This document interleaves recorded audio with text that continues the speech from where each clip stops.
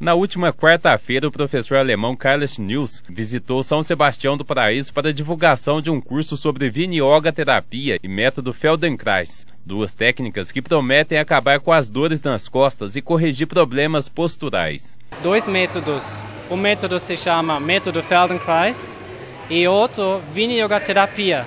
A vinioga terapia vem da Índia e foi modificado nos Estados Unidos pelo Gary Kraftso e ele desenhou um estudo que mostrou que é muito eficaz em aliviadores nas costas. Primeiro vou dar uma palestra e explicar sobre os dois métodos e depois nós vamos fazer movimentos. Eu vou guiar o grupo através de movimentos para aliviar a dor e promover a cura.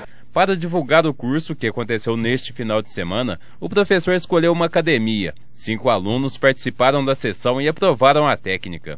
Muito boa. Foi a primeira vez, mas valeu a pena participar dessa aula hoje. Hoje nessa vida tudo que aprende é bom, né? Principalmente essa, todo mundo levanta, todo mundo estressado, com dor nas costas. Vai ser maravilhoso essa aula dele de hoje. Eu achei excelente, muito bacana para a coluna, principalmente para quem malha e faz bastante exercício depois de malhar. É excelente, muito boa mesmo. Segundo o professor, depois que o aluno aprende as técnicas, é possível resolver sozinho problemas de dores lombares. O método é recomendado para pessoas de qualquer idade. Qualquer pessoa, se você está respirando, você pode fazer os exercícios.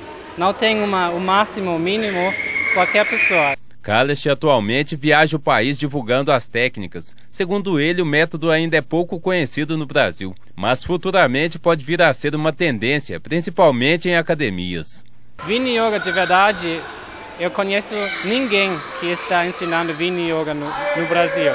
Nos Estados Unidos, na Europa, e Argentina já tem Vini Yoga, mas aqui no Brasil é, é novo. Você acha que pode virar uma tendência nas academias aí futuramente? Sim, com certeza. Nos Estados Unidos é comum.